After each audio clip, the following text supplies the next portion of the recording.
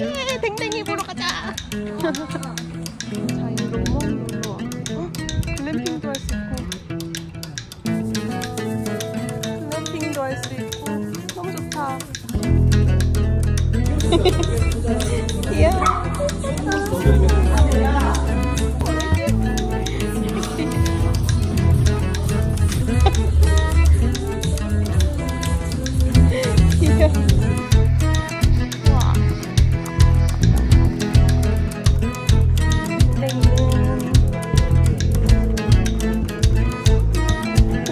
Francisco.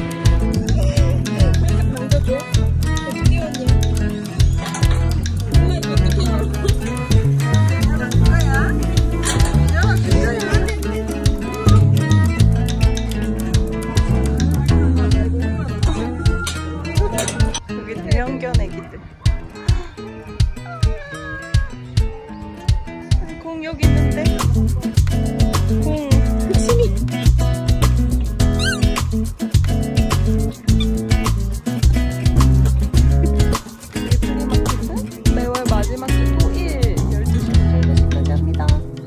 와 물놀이 하는 데도 있고.